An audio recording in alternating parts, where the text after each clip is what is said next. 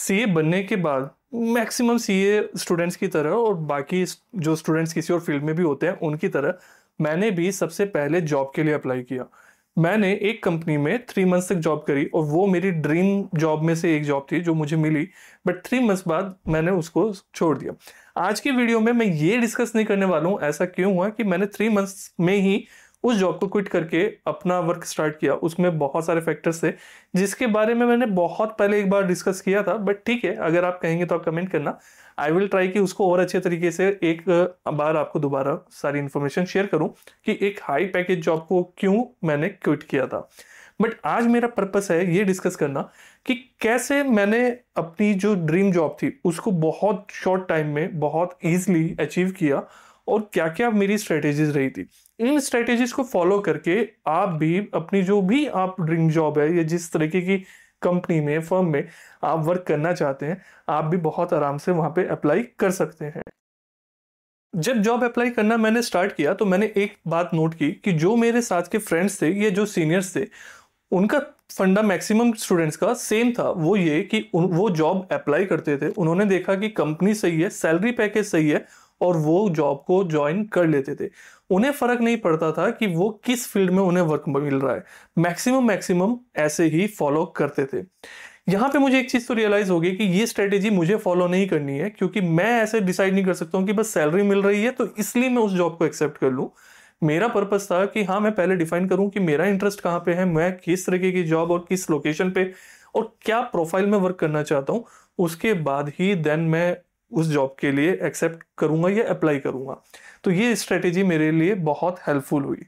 क्योंकि मुझे, मेरा जो पर्पस था ना, वो शॉर्ट टर्म नहीं था। क्योंकि आप क्या होगा, एक हाई सैलरी के लिए आपने कोई जॉब मिल रही थी, आपने ले ली, वो प्रोफ़ाइल हो सकता है लॉन्ग टर्म में आपके लिए बेनिफिशियल ना हो। या तो आपका उसमें इंटरेस्ट ना बन रहा हो, या लॉन्ग टर्म में उसमें सैलरी ग्रोथ उतनी ज़्यादा ना हो।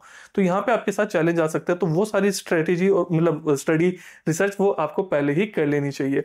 तो मैंने फाइंड आउट किया कि सेकेंडली क्या कि कंपटीशन ना मार्केट में काफ़ी ज़्यादा है। मतलब अगर एज अ सीए भी हम देखते हैं ना तो वहाँ पे क्या है, अगर देखो, ऐसे ही छोटी कंपनी में या नॉर्मल कोई भी जॉब आप अप्लाई करने के अचीव करने के लिए रेडी हो तो दैट्स अ डिफरेंट थिंग फिर इतनी प्रॉब्लम उस टाइम पे नहीं थी एटलीस्ट बट प्रॉब्लम कब है? कि आप क्या डिफाइंड है कि मुझे इस तरीके की कंपनी में, इस प्रोफ़ाइल में ही वर्क करना है? तो तब आपके लिए एक चैलेंज हो जाता है। क्यों? क्योंकि अब आप हर जॉब के लिए अप्लाई नहीं कर रहे हो। आपने पहले ही डिफाइन कर दिया कि मुझे ना कुछ लिमिटेड जॉब में से ही किसी जॉब को सेलेक्ट करना है। तो यहाँ पे आपके पास कॉम्पिटिशन इंक्रीज हो जाता है। अब पर्पज था कि जहाँ पे कॉम्पिटिशन ज़्यादा है उसमें सिलेक्शन होगा तो कैसे होगा? ये एक बहुत बड़ी बात होती थी। तो उसके लिए मुझे रियलाइज़ हुआ कि यूनिक होना ना बहुत इंपॉर्टेंट है। और वैसे भी ना मतलब अगर हम मुझे पर्सनली जानते हो भी होंगे तो आपको एक चीज़ का पता होगा कि मेरी कोशिश हमेशा रहती है और स्टार्टिंग से कि कुछ ना कुछ कुछ ना कुछ यूनिक करता रहूँ। तो अगर आप कोर्सेज में भी देखेंगे या किसी भी तरीके से जो मैं पढ़ाता हूँ टैक्सेशन का अकाउंटिंग का तो वहाँ पे भी ना यूनिकनेस हमेशा रहेगी कि जो बाकी सब नहीं कर रहे हैं ना ऑल ओवर इंडिया वो सारी चीज़ें आपको मतलब वो करने का मेरा मन सबसे ज़्यादा करता है, जैसे कोर्सेज के अंदर अर्निंग ओरिएंटेड पार्ट सबसे ज़्यादा मैंने इंक्लूड किया है कि अर्न कैसे करना है। बाकी सब क्या पढ़ा रहे हैं कि टैक्सेशन क्या होता है अकाउंटिंग क्या होता है, वो सब पढ़ा रहे हैं बट उससे अर्न कैसे करना है वो कोई नहीं सिखा रहा है। तो यहाँ पे एक यूनिकनेस वहाँ पे रखी, एक छोटा एग्ज़ाम्पल था। तो इसी तरीके से उस टाइम पे मैंने सोचा कि जो भी मैं जॉब अप्लाई कर रहा हूँ, वहाँ पे उसमें ऐसा क्या कर सकता हूँ कि जो मेरी प्रोफ़ाइल को ना यूनिक बना दे और सामने वाली कंपनी मुझे सेलेक्ट करे in comparison to other C S अब क्योंकि देखो ना, वहाँ पे तो सी अप्लाई कर रहे हैं, जिस पोस्ट पे मैं कर रहा हूँ। तो मतलब अगर एक पोस्ट पे थाउज़ेंड लोग अप्लाई कर रहे हैं तो थाउज़ेंड के थाउज़ेंड सीए ही हैं। उन्होंने भी वही सिलेबस पढ़ा है जो मैंने स्टडी किया। सिर्फ़ मार्क्स में थोड़ा फ़र्क हो सकता है बट इतना ज़्यादा वेरिएशन नहीं होता है तब भी और उसके बेस पे सिर्फ़ सिलेक्शन होना चैलेंजिंग है। आपको ना कुछ यूनिक बनना पड़ेगा, तभी कंपनी आपको सेलेक्ट करेगी, आपको प्रेफरेंस देगी। तो मैंने क्या किया, सबसे पहले वन वीक सिर्फ़ किस चीज़ में इन्वेस्ट किया? अपने सीवी को प्रिपेयर करने में। सिर्फ़ कैसे मैं अपने सीवी को बहुत स्ट्रांग बना सकता हूँ? क्योंकि मैं हमेशा कहता हूँ कि सीवी ना, जो आपका रेज्यूमे होता है, वो सिर्फ़ एक पेपर नहीं है, जिसमें आपने कुछ भी अपनी बस एजुकेशन वगैरह लिख दी, नहीं। ये फ़र्स्ट कॉन्टेक्ट है आपका और एम्प्लॉयर के या कंपनी के बीच में। मतलब कंपनी तब तक आपको पर्सनली नहीं जानती, उन्होंने आपसे बात नहीं करी है आपकी नॉलेज क्या है, उनको नहीं पता है। सिर्फ़ ये रेज्यूमे ही है, जिसके बेस पे वो इवेल्युएट कर पाएँगे कि हाँ आप कुछ शायद यूनिक है, बाकी सबसे डिफरेंट है। तो मैंने बहुत अच्छे से, बहुत डिटेल में सीखा, कोई कोर्स नहीं किया, कुछ नहीं किया था उस टाइम पे। बट मैंने बहुत अच्छे से डिटेल में सीखा कि कैसे इस चीज़ को क्रिएट किया जा सकता है। फिर हाँ जब मैंने पढ़ाना शुरू करा, मुझे लगा कि स्टूडेंट्स को रिक्वायरमेंट है देन मैंने कोर्स क्रिएट कर दिया ताकि स्टूडेंट्स को वन वीक ना देना पड़े, वो दो तीन दिन में उस चीज़ को आराम से सीख पाए। तो वहाँ पे मैंने सारी चीज़ों को, बहुत सारी चीज़ों को इंप्लीमेंट करा। मैं, वो एक सेपरेट टॉपिक हो जाएगा। अगेन मैं कहूँगा, अगर आपको चाहिए उसके ऊपर वीडियो तो आप कमेंट करना। मैं फिर उस पर भी कोशिश करूँगा आपके लिए वीडियो प्रिपेयर करने का। बट शॉर्ट में फिर भी बताऊँ तो उस टाइम पे नॉर्मल सीवी ही यूज़ होते थे। आज भी मैक्सिमम स्टूडेंट्स नॉर्मली करते हैं कि एक सिंपल टेक्स्ट है, जिसमें कोई मॉडर्न लुक नहीं है, कोई डिज़ाइन नहीं है। बट अब फिर भी मॉडर्न लुक बहुत कॉमन हो गया है। डिज़ाइन वाले सीवी अब बनाने लगे बट उस टाइम पे जहाँ पे भी मैंने अप्लाई किया था हार्डली मैंने दो तीन सीवी देखे जिन्होंने थोड़ा मॉडर्न लुक दिया था। अदरवाइज़ सब प्लेन सीवी यूज़ करते थे। Then I tried to use the modern look तो मॉडर्न लुक से क्या हुआ? एक डिस्टिंक्शन क्रिएट हुई कि हाँ मेरा सीवी अभी कैसा है? डिफरेंट है। प्लस मैंने सिंगल पेज पे रखा। उसको मल्टीपल पेजेस पे नहीं रेट किया। जब मैं फ़िज़िकल कॉपी लेके जाता था ना नॉर्मली स्टूडेंट्स क्या करते थे? नॉर्मल पेज पे प्रिंट आउट लेते थे black and white print out लिया। मैं कलर्ड प्रिंट आउट प्रिंट करता था और हार्ड पेपर पे, जो सर्टिफिकेट पेपर होता है ना heavy paper 170 seventy GSM I think तो उस पर प्रिंट करता था। उसके कारण क्या होता था? सामने जैसे ही, अब मान के चलिए कोई एचआर है एचआर के पास लेट से उस टाइम पे ट्वेंटी सीवी है तो बाकी सबके सीवी कैसे? वो नॉर्मल पेपर है, जैसे कॉपी का पेपर नोटबुक का पेपर होता है, आपका वैसा है। मेरा जो पेपर है, वो एक स्ट्रांग है हार्ड पेपर है। तो वो हमेशा उनकी होल्डिंग में भी ना, वो हमेशा कैसा? एक अलग ही ग्रिप बनाता था, एक अलग पता चलता था कि हाँ ये सीवी बाकी से अलग है। तो कहीं ना कहीं कहीं ना कहीं ये माइंड में ट्रिक कर रहा है कि हाँ ये कुछ यूनिकनेस आ रही है। और फिर उनको भी लगेगा इन्होंने मतलब प्रीमियमनेस फील होगी। तो अपने आप ही माइंड में ना चाहते हुए भी ये इमेज क्रिएट होगी कि हाँ कहीं ना कहीं जो कैंडिडेट है लेट से मैं अप्लाई कर रहा हूँ तो मेरी स्किल्स या मेरे बारे में कुछ प्रीमियमनेस है। तो उस चीज़ को मैं वहाँ पे फोकस करता था। और जो मैं ईमेल भी लिखता था ना ईमेल भी बहुत यूनिक ड्राफ्ट करता था। जब सब्जेक्ट लिखता था तो सब्जेक्ट को भी यूनिक रखता था कस्टमाइज रखता था और जो ईमेल हम लिखते हैं ना नॉर्मल स्टूडेंट्स क्या करेंगे? ईमेल भी लिखेंगे रेज्यूमे अपना अटैच करेंगे और लिखेंगे कि प्लीज़ फाइंड अटैचमेंट ये सब सर मेरा रेज्यूमे है, आप इसको एक बार देख लीजिए, इतना लिख देंगे। मैं वहाँ पे पूरा डिज़ाइन बना के उसको प्रॉपर प्रोफेशनल डिज़ाइन ऐसा नहीं फुल पत्ती नहीं प्रॉपर डिज़ाइन प्रिपेयर करके तब वहाँ पे उसको सेंड करता था।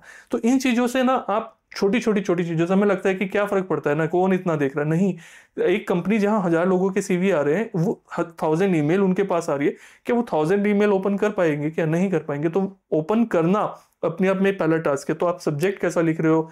आपने प्रोफ़ाइल फ़ोटो कैसी लगाई है? अपनी ईमेल पर अपना नेम कैसा मेंशन किया वो बहुत अटेंशन ग्रैप करता है। फिर उसके बाद आपकी ईमेल इतनी अट्रैक्टिव होनी चाहिए कि पर्सन आपकी सीवी डाउनलोड करे। सोचो थाउज़ेंड सीवी वो डाउनलोड करेंगे? नहीं चांसेस बहुत रेयर है। फिर उसके बाद सीवी ऐसा डिज़ाइन होना चाहिए कि वो मजबूर हो जाए कि हाँ इसको एक बार मैं थोड़ा डिटेल में रीड करूँ। तो इन चीज़ों का आपके ऊपर इम्पैक्ट पड़ता है। फिर ना, अब अपने आप को मैंने क्या बताया कि डिफ्रेंशिएट करना मेरे लिए एक पर्पज था कि मैं अपने आप को कैसे डिफ्रेंशिएट करूँ, क्योंकि बाकी जितने थाउज़ेंड या जो भी हंड्रेड फाइव हंड्रेड थाउज़ेंड जो भी लोग अप्लाई कर रहे हैं तो वो भी सी हैं, मैं भी सी हूँ, उनके पास भी सेम नॉलेज है, मेरे पास भी सेम नॉलेज है तो मैं अपने आप को कैसे डिफ्रेंशिएट क्रिएट करूँ? मेरा इंटरेस्ट था टेक्नोलॉजी में वो स्टार्टिंग से रहे, मैंने बहुत सारी चीज़ें उस पर करता रहता था तो अपना फोकस मैंने उसी के ऊपर ड्राफ्ट किया। सीवी में भी हर जगह मैंने अपनी टेक्नोलॉजी को दिखाया शोकेस किया। तो उसमें मैंने दिखाया कि हाँ मेरे को टेक्नोलॉजी की नॉलेज है, आने वाला टाइम चाहे अकाउंटिंग में है, चाहे किसी भी चीज़ में टेक्नोलॉजी का है और कैसे अकाउंटिंग में जो भी हमारा टेक्निकल ये अकाउंटिंग से रिलेटेड सीए से रिलेटेड वर्क है टेक्नोलॉजी का यूज़ मैं कैसे कैसे बेटर तरीके से कर रहा हूँ, ये सारी चीज़ें भी मैंने अपने सीवी में मेंशन करी और इंटरव्यू में भी मैंने इस चीज़ पे फोकस किया।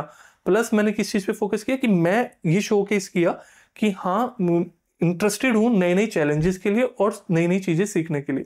तो सामने वाले पर्सन को रियलाइज़ हुआ कि ओके भाई, बाकी जो थाउज़ेंड लोग हैं, उनको वो भी सीए हैं, ये भी सी है। ठीक है तो ये चीज़ तो कॉमन हो रही बट इस पर्सन के पास एक चीज़ एडिशनल है, वो क्या?